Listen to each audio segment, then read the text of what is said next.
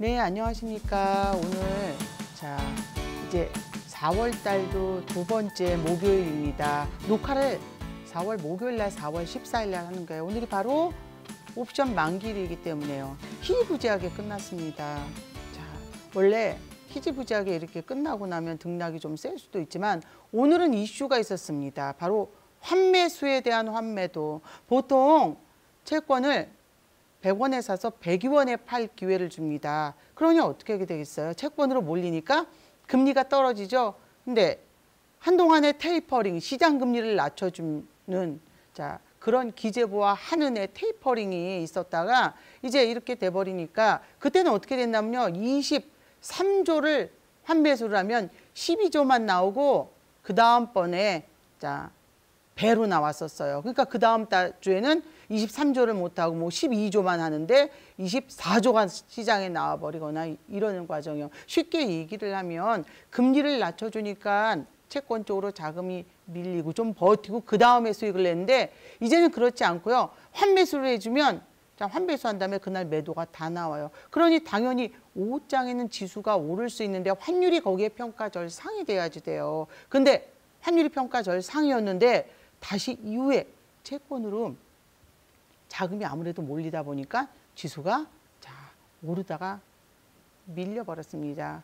자, 이 얘기는 아침부터 환매수였기 때문에 지수는 아침에 플러스여도 밀린다라고 말씀을 드렸습니다. 밀려요. 근데 나오다가 다시 채권 쪽으로 들어가 보니까 환매수한 물량은 그대로 환매도를 했지만 기본적으로 채권 지수가 플러스가 되니까 물론 이거에 단점은 없습니다. 어떻게 보면 지수가 살짝 밀려서도 금리가 떨어지고 환율이 평가 절상이라 우리 시장에서 자금 이탈되지는 않은 거예요. 여러분 지수가 하락하면 뭐 큰일 날 것 같지만 지수가 하락을 해도 폭락을 한 게 아닌 이런 하락은 우리 안전자산 국채로 자금이 들어간 거기 때문에 충분히 기다리실만 한 이런 하락입니다. 그래서 오늘 같은 날은 자 만약에 ELW를 갖고 계신다 그러면 풋을 아침부터 팔아 나가야지 돼요. 환매수가 있어서 환매도가 올 수 있거든요. 그리고 저가라고 의식할 때 콜을 차월 다음 달 시작하는 차월을 등락이 없었기 때문에 물량을 채워 넣어야지 돼요. 그리고 나선 등락이 나오면 더 세게 나오거든요. 그럼 콜을 저가에 사서 팔아 나갔다가 다시 채워 놓고 못 판 만큼을 풋을 잡아야 되는 구간이거든요. 여러분이 이렇게 설명하면 어려우실 수도 있지만 쉽게 얘기하면 양쪽을 다 오늘은 싹 매수를 해야 된다고요. 만기 날 등락이 없었기 때문에 이후에 등락은 롤오버가 돼서 더 크게 회수되지 못한 콜과 풋이 더 크게 움직인다라는 얘기입니다. 자, 이제 이슈를 설명은 하겠는데요. 이제 여러분이 시장의 이슈가 어떤 게 있었는지 제 1호 이슈나 이런 거를 어떻게 보면 테마주가 어떻게 되는지를 보면 시장의 상황을 조금 볼 수는 있습니다. 하지만 우리가 이 테마주에 목을 매서는 안 되겠죠. 그냥 테마주가 어떻게 움직인지 테마주를 갖고 있다. 근데 그 테마주가 오로지 테마만 있는 게 아니라 실적을 동반한다. 그러면 그때는 긍정적으로 여러분이 가지고 가셔야 됩니다.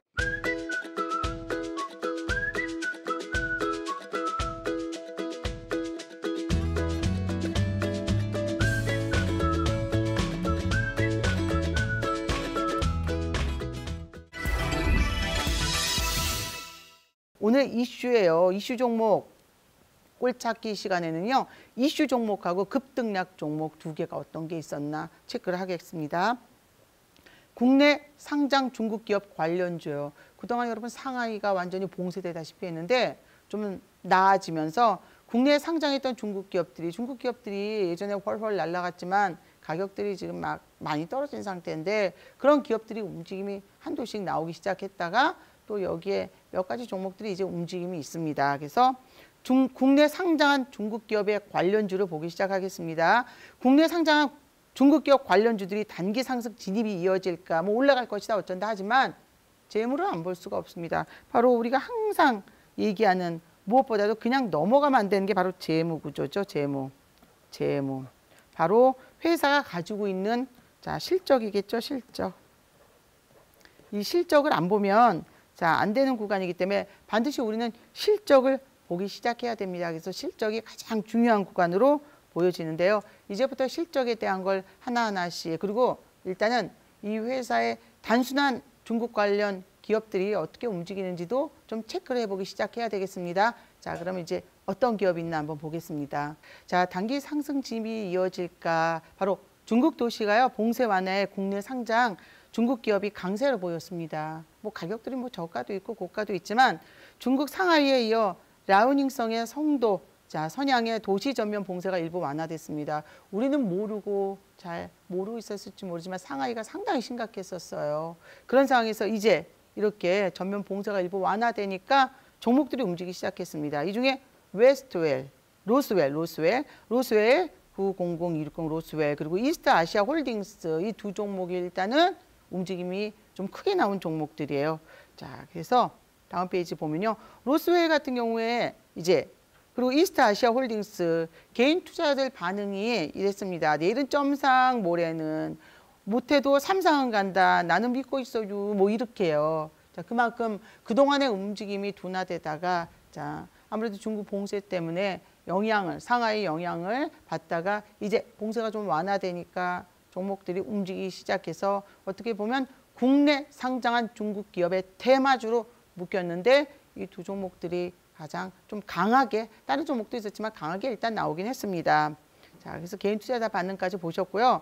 로스웰 같은 경우에 자회사가 505억 일단 6,290만 원 규모의 신설 투자가 하지만 여러분 재무 구조는 꼭 보셔야 됩니다. 이건 이슈일 뿐이에요. 일단 이슈는 이슈 이후에 이 종목이 계속 상승할지의 여부는 주 재무제표를 반드시 보셔야죠. 하지만 테마에 지금 로스웰이 부각은 됐습니다. 생산 설비 증설이 되고 생산 능력 제고 또 원활한 제품 공급 보장 5G 사업 추진이라고들 얘기를 했고 하지만 지금까지의 움직임에서는 등락이 좀 아주 크거나 이런 종목이 아니었죠. 가격별로도 그러다가 이제 코로나로 인해서 완전히 봉쇄됐던 상하이가 좀 완화가 봉쇄 완화가 되면서 부각이 되기 시작했고요. 자, 두 번째 종목은요. 국내 상장 중국기업 관련주 중에 이스트 아시아 홀딩스예요. 또 라운드 안경 가상 착용 서비스 이용 건수가 월 400만 원 돌파했다고 나옵니다. 그리고 이젠 R2주 기업이 아니다. 우린 AI 기업이다. 이렇게 얘기를 하고 있어요. 그렇지만 여러분이 테마인 때 테마가 나쁜 건 아니죠. 당연히. 하지만 테마에 엮여서 주가가 그냥 단순히 올라갔다기보다는 테마를 동반한 주 재무제표가 일단은 자 안정적이어야 되겠죠. 실적이 계속 미래 가치, 미래. 자 미래를 일단은 여러분이 보셔야 되기 때문에 이 종목들이 미래가 있는지부터 체크를 해 보셔야 됩니다. 이제 미래가 있다 그러면 좀 움직임이 나올 것이고 미래가 안 나오면 아무래도 주가는 떨어질 수밖에 없기 때문에 미래 가치를 꼭 체크해 보셔야 됩니다. 그래서 음, 이슈 종목 중에서는 로스웰하고 이스트 아시아 홀딩스 두 종목을 일단 지켜봤습니다. 그냥 테마에 의해서 잠깐 올라간다고 막 덥석 잡기보다는 이 두 회사가 자 회사가 얘기했듯이 주 재무제표도 미래 가능성도 있는지 여러분 현금성 자산도 체크해 보셔야 되겠죠. 자 그래서 이슈 여기까지 했습니다. 자, 이제 다음 종목은 급등락 종목인데요.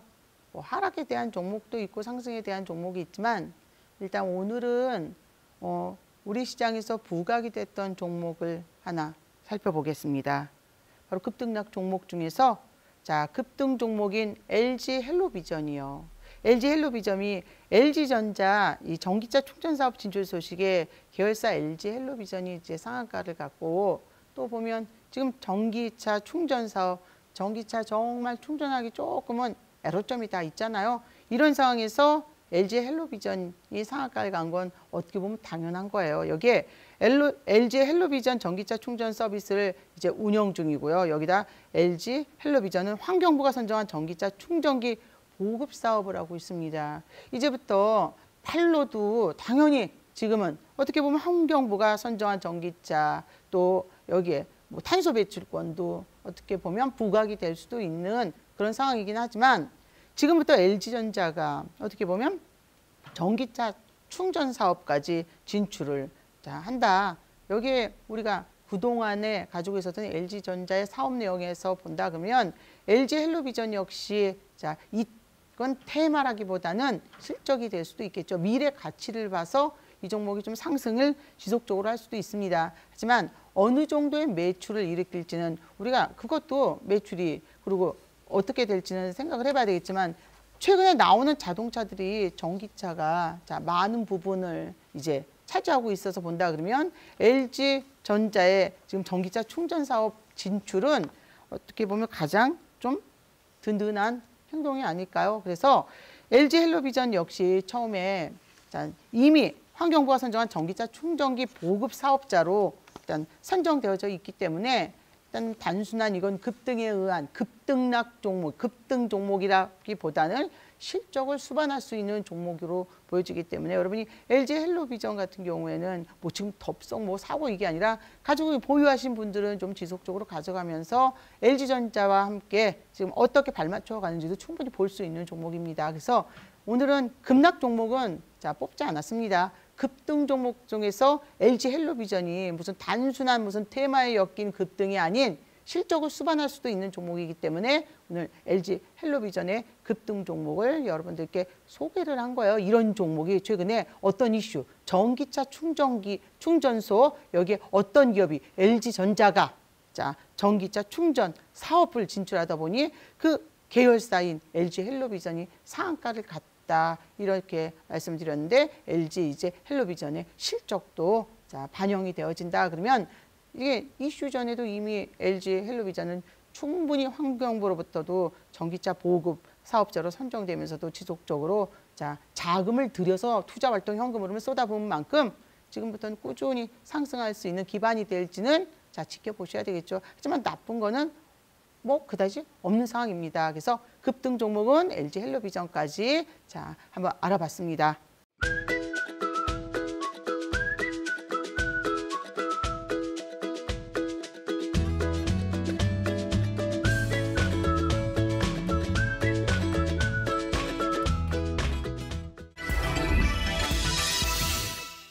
자, 진정한 꿀 종목을 찾아라. 자, 이제 진정한 꿀 종목을 찾으시려면요. 여러분이 종목을 스스로 찾으실 수는 있어야 됩니다. 어떤 종목이 여러 개 중에 여기에 숨어 있다. 그 정도는 찾을 수 있어야지 돼요. 그렇지 않으면 자, 한 종목을 딱 이게 꿀 종목이다 해도 이게 진짜 꿀 종목인지 다 올라갔을 때야 그때야 아이고 기껏 잡을 거 이게 아니라 여러분이 나와 있는 종목 속에서 어떤 것들을 유심히 봐야 될지 지켜봐야 되겠지만 일단 제가 꿀 종목을 이제는 전에는 종목을 딱 드리고 매수, 매도 이것까지 다 해드렸습니다. 지금 여러분 스스로 꿀 종목을 찾아야지만 누가 종목이 좋다 했을 때 그냥 팔랑팔랑 이게 아니라 그렇죠? 막 사고 싶어지고 이게 아니면 또 겁을 먹거나 이게 아니라 여러분이 나와 있는 제가 보통 한 네개에서 여섯 개 종목 많게는 여덟 개까지도 나오겠지만 여섯 개는 최대한 넘지 않을 건데요. 그 중에 꿀 종목을 좀 숨겨놨습니다. 이 중에 여러분들이 꿀 종목이 뭔지 유심히 잘 보시고요. 그때 좀 힌트를 종목을 딱 지정해서 드리진 않을 거예요. 근데 이 힌트에 대한 것도 알고 싶으면요. 바로 샵 3772에 구미형 치시거나요. 화면에 QR코드 나오시죠? 거기 딱 카메라를 갖다 대면 자동으로 들어오게 됩니다. 그러면 그 안에서 자료도 얻을 수 있고요. 시황도 어떻게 진행되는지. 그러면 그냥 단순한 시황이 선물이 올라가면 미국이 올라가면 우리도 올라가고 미국이 떨어지면 우리도 떨어지고 이건 아니겠죠. 오늘 우리는요. 야간 선물이 4월 14일 2022년 4월 14일 야간 선물은 올랐고요. 중국도 오르고 일본도 올랐습니다. 하지만 우리는 하락을 했어요. 근데 그 하락이 그다지 나쁜 하락은 아니었다고요. 채권으로 자금이 들어가면서 환율이 평가절 상이요.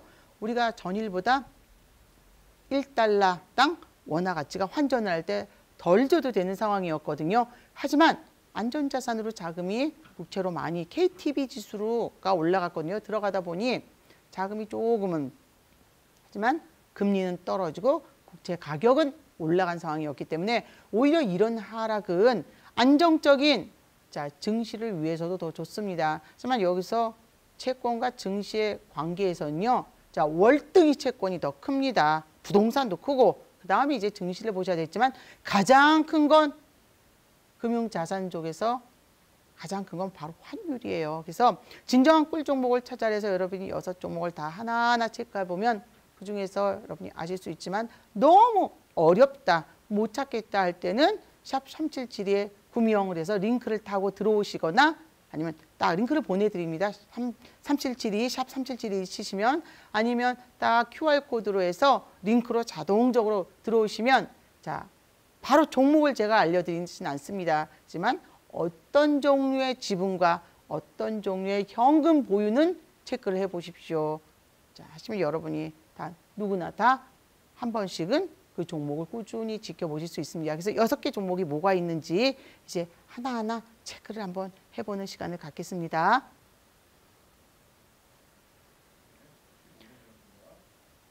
네, 진정한 꿀 종목이 과연 숨어 있을까? 있죠.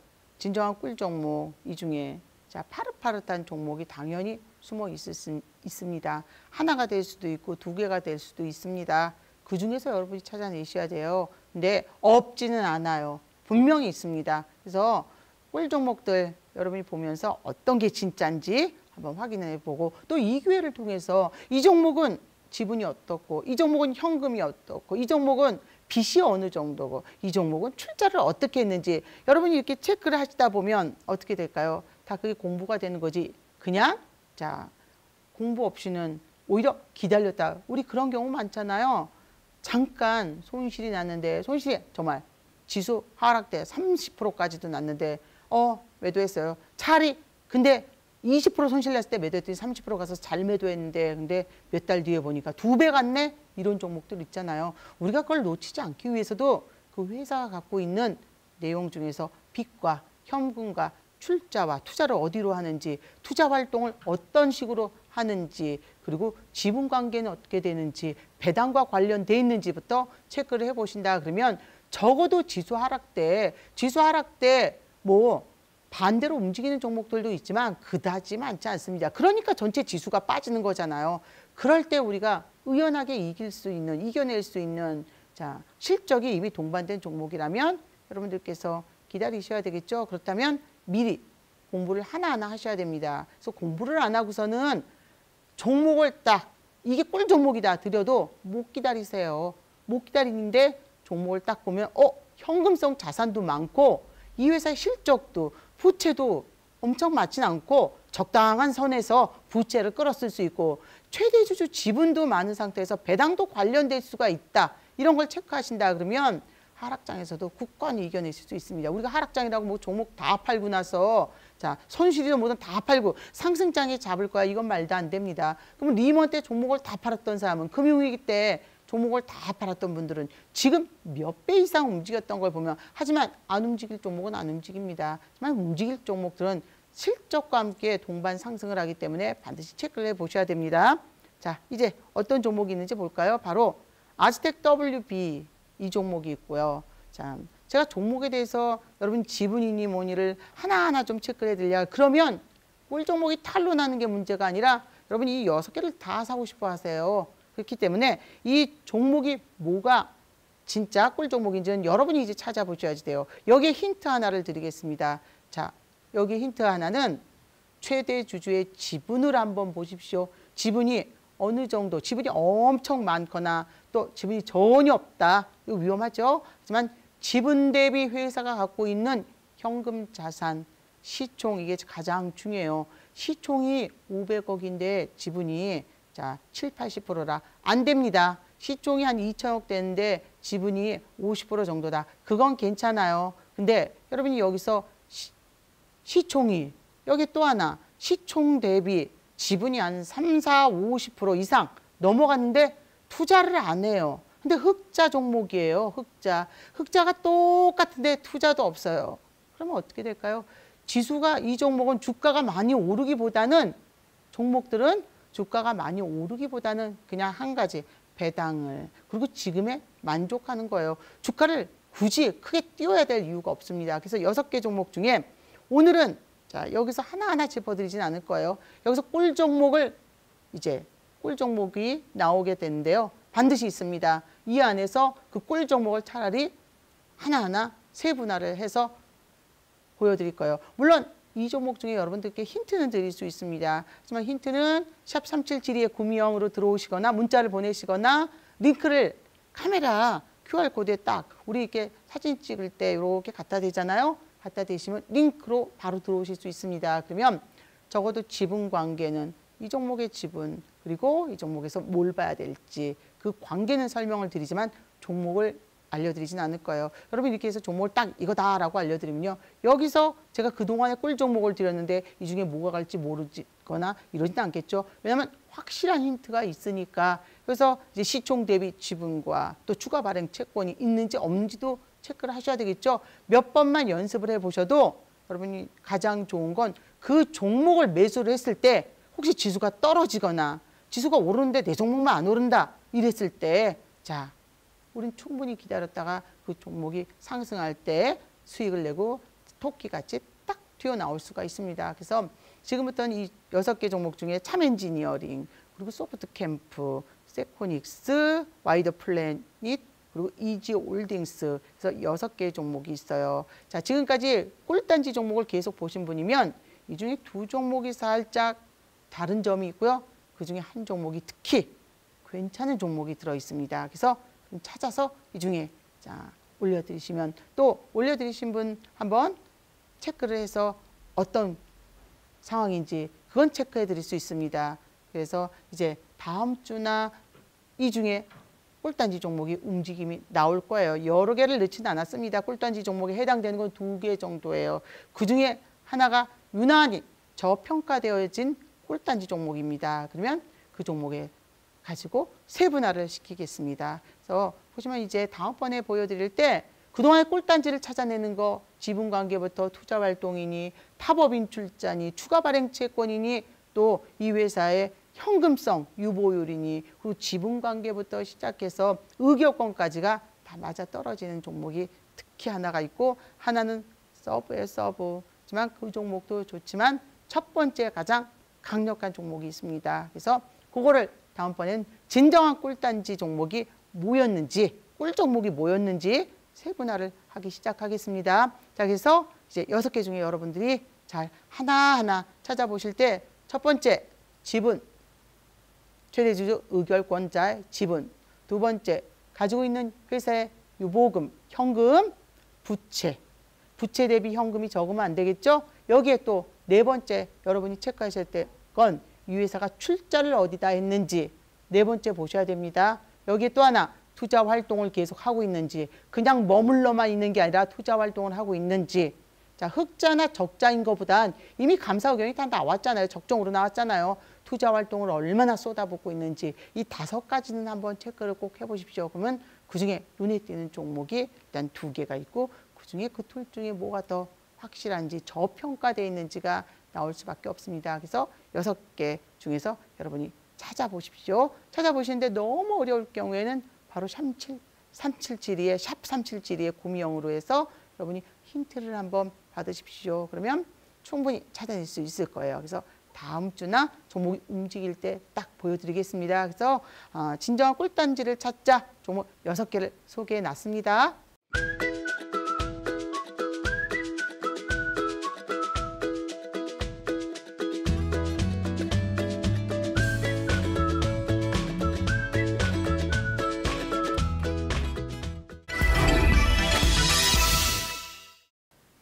이제 ELW 전략이에요.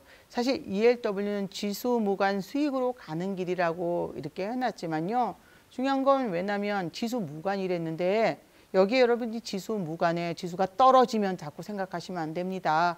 지수가 올라도요. 품만 수익인 게 아니에요. 콜이 올라갈 때도 300%씩 올라간 올라갑니다. 지수 무관이라는 건 자, 우리가 지수가 오르던 떨어지던 양매수를 해야 된다고요. 이번 달 진짜 힘겨웠어요. 왜냐하면 2월 만기 때 등락이 세게 나왔잖아요.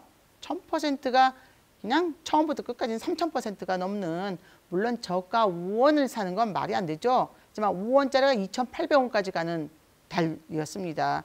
그리고선 3월 만기 때 원금 플러스 50% 정도는 회수하는 달이었고 지금 30% 회수할 수도 있어요. 언제 시작했냐가 중요하거든요. 지금은 제가 녹화를 한 날이 바로 옵션 만기이에요 4월 14일. 여러분은 15일 쉬고 16일 날 듣게 됩니다. 근데 자 ELW를 여러분이 하시면서 오를 거다. 미증시가 오른다고 무조건 콜도 아니고 미증시가 떨어진다고 무조건 풋도 아닙니다. 지난 밤에 우리 올 새벽까지 14일 새벽까지 미증시는 많이 올랐어요. 많이 올랐지만 그리고 야간 선물도 우리 시장 시작하고 나서 올랐지만 앞서 말씀드렸던 것처럼 환매수가 있어서 일본도 오르고 중국도 오르고 미국 야간 선물도 올랐지만 우리는 빠졌습니다. 바로 환매수에 채권 쪽으로 자금이 들어가서 하지만 이게 두려운 구간은 아니라고요. 환매수가 있어서 두려운 구간은 아니라는 이유는 자 금리를 낮춰주는 구간이었기 때문에 근데 오히려 환매도가 나와서 매도가 나왔지만 결국은 다시 매수를 하면서 채권 쪽으로 그래서 오늘 금리는 떨어졌고요. 가장 많이 오른 게 단기채 2년물이 자 퍼센트로는 많이 움직였고 그리고 장기채 20년 주로 30년물 뭐 이런 10년물도 자 아주 긍정적으로 금리가 확 낮아졌습니다. 2년물이 3%를 넘었는데 오늘 2.8, 뭐 2, 2.85, 2.87, 뭐 이 부분까지 금리가 떨어졌습니다. 또 하나 제가 ELW를 하면서 공개 방송이나 이럴 때 질문을 받는 건데요. 경기가 좋지 않으면 푸시냐고 채권 가격이 올라가냐고 그러더라고요. 경기가 좋지 않으면 채권 가격이 올라가는 게 아니라 금리가 빠져야지 채권 가격이 올라갑니다. 그러니까 여러분들은 자 채권은 경기가 좋지 않고 주식시장이 떨어진다고 채권을 사서 해지를 그 해지라는 건요 주식이 떨어져서 마이너스 100만 원인데 얼른 요걸 잡으면 수익이 난다. 그때하고는 틀린다고요. 경기가 자 좋던 나쁘던의 차이는 있겠지만 주식시장이 떨어졌을 때 채권이 올라가는 경우는 금리가 빠질 때요. 그러니까 결국은 지금 금리가 올라가고 있기 때문에 경기가 안 좋아지는 경우가 되더라도 채권을 산다고 주식 대비 만회를 하실 수는 없다는 거예요. 금리가 빠지지 않으면 하지만 이럴 수는 있습니다. 아우 지금 저기 주식시장도 이러니까 채권 일단 갖고 있고 하지만 이렇게 얘기를 해요. 금리가 올라가면 채권이 떨어진다는 건 알 수 있지만 한 3년 정도나 5년 정도 그 안에 금리가 어떻게 될지 모르니까 3년, 5년 사이에 몽뚱그려지긴 하겠죠. 그리고 금리가 채권 투자가 뭐 깡그리 0이 될 수는 없잖아요. 자, 그렇기 때문에 하지만 ELS 상품하고는 틀리고 그렇게서 얘기를 하겠지만 우리는 일단 금리가 올라가면 채권 가격은 빠진다는 걸꼭 염두에 두십시오. 자, 이제 ELW를 천천히 해 나가겠습니다. 다음 페이지인데요. 제가 항상 이건 항상 가지고 나올 거예요. ELW를 쉽게 이해할 수 있는 건 뭐 여러 가지 법칙이 있지만 기본을 일단 충실해야지 됩니다. 상품을 두 개 갖고 있다고 생각하셔야지 돼요. 지수가 오를 때의 상품 콜, 지수가 내릴 때의 상품 풋이 있습니다. 우리는 오를지 떨어질지 지금 경기가 막 코로나가 뭐 그건 좀 괜찮았지만 또 러시아가 뭐 인플레이션이 모르는 거예요. 자, 2018년도에도 금리가 오른다 오른다 난리를 쳤습니다. 그렇죠?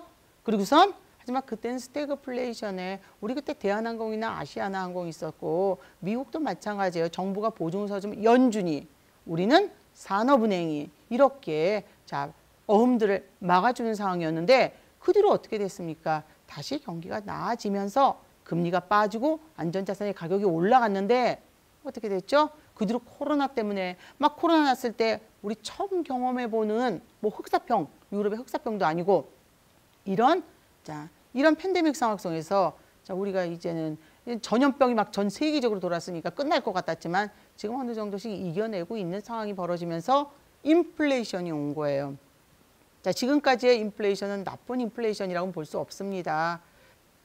이유는 코로나 때문에 기업들이나 소상공인들 다 실적이 좋지 않으니까 시장이 돈을 풀었어요. 돈을 풀었는데 기업 경기가 좋아지니까 돈이 너무 많아져서 인플레이션이 와서 회수해 가는 과정이에요. 근데 그래서 금리를 올려도 되는 과정인데 이 러시아가 전쟁을 일으키면서 기업 경기들이 뭐 연쇄적으로 자 채권을 우리는 아무래도 우호국은 아니죠 비우호국이겠죠 러시아에서는 그러다 보니까 자 이 상황에서 기업 경기들도 또 좀 전 세계적으로 침체가 올 수가 있으니까 스태그플레이션이 와버리는 거예요. 즉 물가가 올라가는데 얼마 전까지는 엄청나진 않았지만 그래도 경기가 좋아지는 상황에서 물가가 올라가는데 이거 경기가 안 좋아지려고 그러는데 돈이 안 벌리는데 물가가 올라가요. 자, 이 상황은 아니겠죠. 돈의 가치는 떨어지는데 물가는 계속 올라가요. 그렇다고 돈의 가치가 떨어지는데 월급을 많이 받는 건 아니잖아요. 자, 이 상황이 벌어지게 됐습니다.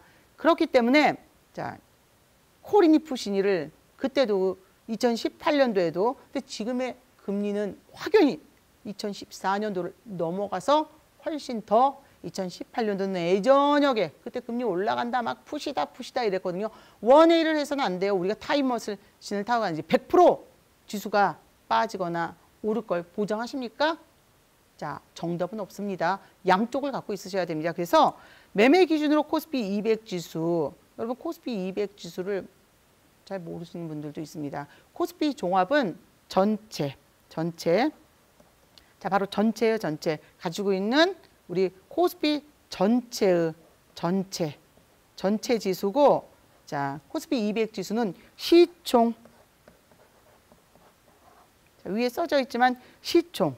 바로 시총 200위까지예요. 그래서 코스피 200 안에 들어갔네, 떨어졌네. 이게 굉장히 그 부분에 있는 회사들끼리는 민감하거든요. 시총 200위 안에서의 바로 지수를 기점으로 자 행사가라 그러는데요. 그걸 기점으로 콜과 풋을 진행을 하는 게 바로 ELW고 ELW입니다. 그래서 여러분이 자 주식 거래를 하실 수 있으면 누구나 할 수 있지만 그렇다고 무슨 파생을 해서 어 물론 이 얘기를 할 수 있습니다. 벌었던 돈을 더 넣어서 잊어버리, 잃어버릴 수가 있습니다. 근데 여기에 또 한 가지, 몇 가지는 언제 움직일지도 모른다는 거. 하지만 우리가 지수가 12개월 동안 움직임이 없었을 리가 없죠. 횡보는 횡보 이후에 지수가 계속 정말 1%에서 왔다 갔다 해보세요. 그러다가 마이너스 2, 3, 1%만 해도 엄청 크죠. 하루에 지수가. 근데 한 0점 몇씩 이러다가 정말 등락이 없다가 1%만 움직여도 크게 움직이는데 만기가 다가올 때까지 다가오면 엄청 더 커진다는 거예요. 그래서 여러분이 주식 주문창에서 거래를 하는 거 ELW도 똑같이 거래합니다. 여기에 주식 투자자라면 거래 방법 자체는 어렵지 않아요. 단지 여러분이 상품 이름이 헷갈리는데요. 어떻게 보면 자 상품을 한 달 내내 거의 비슷한 상품을 가지고 거래를 하시게 됩니다. 한 달 내내 비슷한 상품이에요. 여기에 달라졌다 하면 뭔가가 한쪽이 올랐기 때문에 더 싼 거를 또 뭔가가 한쪽이 올랐기 때문에 싼 거를 또 높은 걸로 이렇게 비중을 잡게 됩니다. 그래서 여러분이 이런 ELW에 대한 기초적인 자 동영상이나 또는 자료를 얻고 싶으셔도 샵 3772에 구명 이렇게 문자를 보내시거나요. QR코드로 보이시죠? 화면에 자 휴대폰을 갖다 대시면 바로 링크를 타고 들어오시면 여러분이 자 새로운 동영상이나 그리고 이런 자료를 만들어진 자료를 받으실 수가 있습니다. ELW는 어떻게 보면요. 주식 대비 5%요.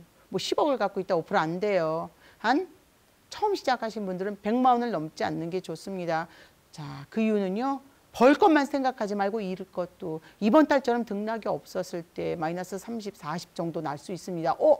엄청나네. 하지만 벌 때도 생각해야죠. 그 가지고 있는 자금을 가지고라도 자 줄어드는 자금 가지고도 충분히 수익을 낼 수 있지만 등락이 클 때는 또 그만큼 이달에 등락이 없었다 그러면 다음 달에 크게 나올 수밖에 없어요. 우리뿐만이 아닌 LP도 회수, 회수가 덜 됐으니까 그래서 ELW는 자 여러분이 항상 작은 금액으로 감당할 수 있는 만큼 막 몇 천만 원 매덕으로 하신다 그거는 노름이에요. 그렇게 해서 수익을 났다 그러면 그만해야지 돼요. 자 5천만 원 갖고 막 1억 7천, 1억 8천, 2억을 버셨는데요. 다시 5, 6천, 7, 8천 있는 건 아무것도 아니고 더 빚내서 넣었다가 깡그리 잃어버리게 됩니다. 다, 전부 다, 다 그냥 휴지 조각이 돼버리게 돼요. 그래서 항상 똑같은 금액으로 정말 차분하게 12개월을 나눠서 1,500만 원이 있다. 12개월을 나눠서 거래하신다. 그러면 그중에 서너 번이 큰 장이 있을 수 있고 또 서너 번에 여러분이 원금 플러스 알파가 있을 수 있고 나머지 네 번을 조심해야 되는데 그 조심하는 것도 언제 언제 해야 되는지 다시 한번 체크를 해드리겠습니다. 자, 다음 페이지인데요. 바로 ELW는 앞서서 말씀드렸듯이 주식 두 개를 여러분이 매수한다고 생각을 하셔야지 돼요. 두 개의 주식만 매수를 상품을 이제 매수를 하시는데 그중에 코스피 200 지수가 상승하면 콜이고 빠지면 풋이에요. 근데 중요한 거는 ELW는 콜인지 풋인지 어 지수가 올라가는데 풋을 오늘 같은 날은 자, 풋을 먼저 잡은 게 아니라 풋이 시장에 공급된 게 차월이 너무 작았어요. 그러다 보니까 지수가 빠졌을 때 환매도가 나오잖아요. 그러면 또 어려워지겠지만 채권을 사주면 지수가 빠지게 돼요. 물론 환율이 평가 절상이어도 이론적으로는. 근데 그 채권은 환매도로 특히 금리가 올라가니까 빨리 수익을 내고 탈출을 하려고 든다고요. 그러면 어떻게 되겠어요? 밑에서 홀을 차라리 잡아서 일정 물량을 매도를 해놓고 매도 못한 물량을 풋으로 해지를 즉 이쪽이 마이너스면 이쪽이 플러스 근데 정말 한쪽이 세진다 그러면 플러스는 무한대 그리고 마이너스는 100이에요. 선물이 여러분 그렇게 생각할 수 있지만 선물은 잃을 수 있는 100에서부터 밑으로는 로스 컷을 자동으로 매도가 들어갑니다. ELW는 그냥 자동으로 매도가 들어가는 게 아니라 우원에 들어가겠지만 한쪽은 그러면 등락이 한 달 내내 없었다. 그냥 더 추가하지 말고 갖고 있어야지 돼요. 한쪽이 세게. 근데 막판에 터져버리면 참 골치 아프긴 합니다. 막판에 만기가 다 됐을 때 터지면 차월을 사들여 놔야지 돼요. 차월을. 그러면 막판에 저가가 오를 때 차월도 움직임이 나오긴 하거든요. 어저께 차월이 한 70몇 프로 정도 움직이지만 그 차월 콜에 대한 해지를 건 풋이 없다 그러면 우리는 자 그때는 어, 그 올라가는 것만 보시면 안 됩니다. 지수를 알면 애초에부터 지수가 등락이지 않을 때 자 아무것도 사지 말아야죠. 그러면 기다려야지 되는 거예요. 그래서 오늘 같은 날은 여러분이 비중을 딱 잡았다 그러면 한 20% 내지 25%는 사놔야 됩니다. 만기일날 등락이 없었어요. 물론 만기일 전날인 4월 13일 날 콜이 움직였는데 만기날 등락이 그래도 이 중요한 옵션 만기날 등락이 없었기 때문에 일단 홀풋을 집어넣어 놓고 금요일 날도 등락이 없다 그러면 10% 정도 더 사놓고 월요일 날도 등락이 없다 그러면 10% 정도 더 사겠지만 높은 걸 사야 됩니다. 등락이 안 나왔을 때 쪼그라드는 것도 그러면 계속 등락이 없을까요? 지난달에는 3월 17일 날 나와버렸는데 너무 빨리 나왔어요. 자, 일주일 정도 지나서 바로 그 뒤로부터 등락이 없었거든요. 빨리 갖고 있다 등락이 나오면 근데 채워 넣기 전에 등락이 나온다 할 수 없습니다. 차라리 물량을 수익난 쪽을 빼버리고 저가를 조금 갖고 있어야지 돼요. 우리가 벌 것만 생각하면 안 되죠. 잃을 것도 생각을 하셔야 되기 때문에 자, 이 종류를 여러분이 매수를 해도 합성으로 해야 됩니다. 두 개의 합성가가 나와야 되는데 여기에 조금 지난번보다는 약간 중급을 얘기한다 그러면 이 종류가 수익은 무한대 손실은 100이에요. 근데 무한대가 자 그냥 200, 300, 400, 500, 1000%가 아닌 내 원금이 한쪽에서 거의 코를 코를 그냥 예를 들면 자 한쪽 한쪽 방향만 생각을 하실 게 아니라 이제 코를 어느 정도 여러분이 이제 매매를 하시다가 코를 이제 100만 원 그리고 풋을 100만 원 들어갔는데 이 콜이 한 150, 160 됐다 이러면 그때부터는 차라리 1, 2, 30만 원 저가, 저가. 여러분이 저가 콜을 잡으셔야지 저가를 들어가셔야 됩니다. 차라리 어떤 5원짜리는 아니어도 고가를 잡는 것보다는 물량을 늘린 것보다는 나아요. 그때부터 등락이 더 셀 수도 있고 더 세면 어떻게 해요? 저가가 더 많이 오릅니다. 10원짜리가 10원짜리까지는 아니지만 50원짜리가 100원 가는 건 충분히 이루어져요. 근데 안전하다고 500원짜리가 1000원 안 됩니다. 1000원이 올라가도 매도를 한 물량이 700원, 600원에 가 있어요. 매도가 안 들어가요. 매, 매수자가 없습니다. 비싼 것들은 안 들어가게 됩니다. 그래서 여러분이 이제 거래를 하시면서도 어느 정도가 아니라 내 원금이 다 돼간다 그러면 그때부터는 긴장을 할 게 아니라 수익을 매도해 나가야 돼요. 또 하나 여러분이 이렇게 수익을 매도해 나가면서 합성가라고 지금 말씀을 드렸잖아요. 합성가에도 한 가지 생각은 자 오늘 콜이 가지고 있는 콜이 있어요. 이 콜이 예를 들면 자 100% 100%까지 뭐 움직이면 모르지만 40% 올랐어요. 40% 플러스가 자 플러스 이제 올라가는 폭이 그리고 풋이 있는데 풋이 내려가는 폭이 한 50%예요. 그러면 합성이 안 나왔네요. 마이너스 10이에요. 마이너스. 마이너스 10이지만 이럴 경우에는 여러분이 팁이에요. 그 다음날 방향이 바뀌면 저 40%도 올라갔다고 그럼 더 내려가요. 그리고 50%인 풋은 올라감이 엄청 세면 모를까 덜 올라가게 됩니다.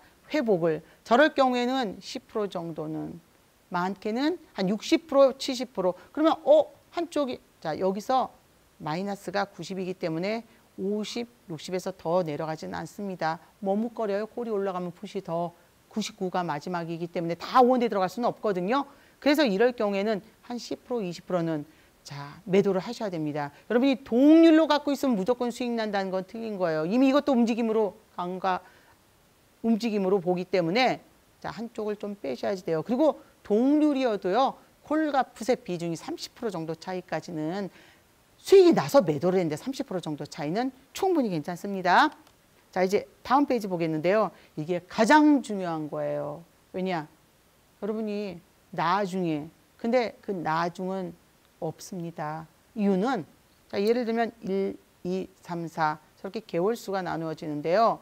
2월 달에 상승 있고 3월 달에 상승 있고 4월 달에 뭐 어떻게 됐던 근데 여러분이 증거금 포함해서 주식 포함해서 1,500만 원을 갖고 시작을 해요. 1,500만 원이 없다. 이번 달에 하다 잃었어요. 그러면 다음 달에 매도는 있는 걸 이미 당월이 끝나서 매도도 이미 끝나죠. 하지만 못 사게 됩니다. 다시 돈을 채워 넣어야 돼요. 그러니까 이거는 어떻게 보면 불합리한 거예요. 그냥 100만 원만 넣고 조심조심 한 게 그래야지 주식 포함 근데 1500 넣고 여러분이 ELW만 하기엔 너무 어렵습니다. 몇몇 증권사는요. 자, 말일날 시작해서 딱 하루가 지나도 어느 정도 자, 자금을 500으로 낮춰줘요. ELW를 할 수 있게. 그럼 싹 빼서 500을 갖고 주식 빼고 그냥 500을 다 잡으시면 안 되죠. 그러면 원금 회수가 금방 눈에 띕니다. 다른 또 몇몇은 1분기, 3개월이 지나야지 낮춰져요. 저는 반드시 증거금을 500으로 낮추고 주식을 뭐 큰 걸 하나 사서 두더라도 ELW 자금이 지금 플러스인지 마이너스인지 내 원금이 얼마나 됐는지 쫀쫀하게 계산하셔야 돼요. 더 나중에 10배 가든 100배를 가든 원금은 회수하고 내가 투자한 원금 때문에 그거를 안 팔아서 ELW가 엄청난 수익을 낼 수 있는 건 아니거든요. 가지고 있는 자금이라도 빨리 파시면 ELW는 얼마든지 수익으로 들어갈 수 있기 때문에 반드시 수익금은 원금은 매도를 해야 됩니다. 당월물이 끝날 때까지 원금은요. 절대로 여러분이 이렇게 매매를 하시면서 자, 그 원금은 수익이라고 생각하시면 안 돼요. 원금 1회, 원금 2회 이렇게 해서 진행을 하셔야 되는데 12개월로 4개월은 정말 세요. 나머지 4개월이 자, 원금 플러스 알파에 20, 30%도 자, 나머지 4개월로 따질 뿐이에요. ELW는 간신히 원금 회수하고 30%다. 왜냐하면 이럴 때 자, 조금 세게 이를 수도 있으니까. 근데 이 이럴 때 세게 이르는 맨 밑에 요 맨 밑에 여러분이 생각하시기에 요 맨 밑에 요 4개월 있죠? 요게 바로 큰 장 이후에 나옵니다. 첫 번째 제일 큰 거 여기 보면 요 4개월 큰 수익이 나는 요 구간 있죠? 보통 보실 때 여기 이렇게 한 300개쯤 이렇게 나오는 300% 나오는 저 구간에 나오게 돼요. 그래서 지금 같은 구간이 여러분이 이제 매매를 하실 때 100에서 300% 보통 500%도 이렇게 나오게 되는데 큰 구간 이후에 사이사이에 원금이 왜냐하면 전달 엄청나게 등락이 난 이후로는 그 사이에 좀 등락이 작아질 수 있어요. 그래서 그럴 때 대비해서 여러분들이 매매를 이제 하셔야 되기 때문에 크게 한 300%, 500% 수익이 나고 나서는 원금을 좀 줄이셔야 됩니다. 더 커지면요. 그땐 저가요. 저가라는 게 있습니다. 오, 뭐 5원 이런 게 아니라 살짝 낮은 걸 건드려도 되니까 정말 셀 때는 아니면 조금 들어간 게 더 다행인 거예요. 그래서 물량 꼭 줄이셔야 됩니다. 그래서 저는 가장 중요한 건 12개월 똑같이 나눠서 자 이번 달에 별로 안 좋았어요. 하지만 여러분 두 달 정도 하고 포기했는데 세 달째 폭등을 해버리면 폭등한 뒤에 다시 ELW 잡게 될 때 그때는 잡을 수가 없습니다. 엄청난 등락 이후에는 웬만한 등락에 우리가 자 오늘 엄마한테 저 어렸을 때 20원씩 받았었거든요. 지금 20원 주면 참 그냥 길거리 하루 종일 쳐다보다가 20원 찾을게요. 이런 것처럼 이미 우리가 돈의 가치도 자 떨어져서 금액이 그리고 제가 자라면서 저도 제가 음, 경제 활동을 하다 보니까 생각을 해보세요. 돈의 가치가 자 지금은 그러니 여러분 생각해 보세요. 그 다음번부터는 웬만한 등락에는 안 움직여 버려서 큰 등락 이후로는 자금을 오히려 줄이셔야 되기 때문에 저는 ELW에서 양매수는 기본인 거고요.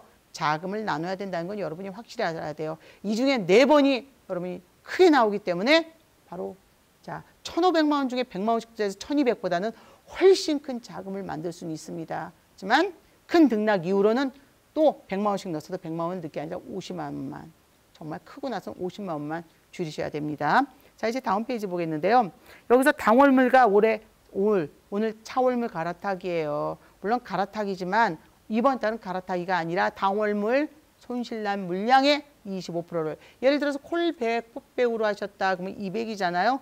100만 원으로 해서 뭐 지난달에 플러스 50이었다 그러면 퉁 칠 수 있는데요. 또 여기서 지난달에 500으로 했다 이번에 200으로 했다. 아, 그럼 괜찮아요. 지난달 훨씬 많이 벌었으니까 지난달 200으로 했는데 이번에 500으로 했다. 지난달에는 200만 원에 대한 50%라 100만 원을 벌었는데 이번 달은 500만 원에 대한 자 50%가 회수가 덜 됐다 그러면 250이에요. 150이 손실이 더 훨씬 퉁칠 수가 없습니다. 그래서 매달 똑같은 달로 여러분이 하셔야 되는데요.